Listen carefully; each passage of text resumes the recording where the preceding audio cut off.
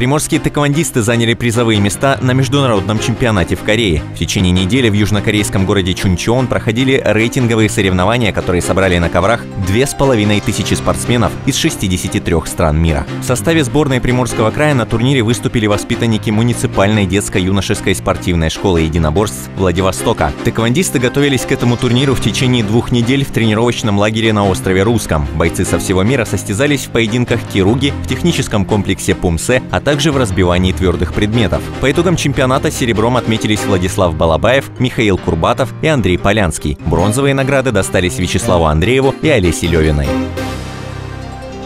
Шахматный фестиваль «Город у моря» пройдет во Владивостоке. Традиционное и уже восьмое по счету мероприятие соберет спортсменов в концертном комплексе «Феска Холл». Там в течение четырех дней будут идти различные соревнования по быстрым шахматам и по сёги, японскому аналогу игры. Участие в баталиях примут около 200 юных игроков со всего Дальнего Востока и Москвы. Также любой желающий без спортивного разряда сможет попробовать свои силы в турнире А. К слову, призеры соревнований не только получат медали и грамоты, но и разделят общий призовой фонд в 200 тысяч тысяч рублей. Как отметили организаторы, помимо интеллектуальных сражений, всех участников фестиваля ждет и культурная программа.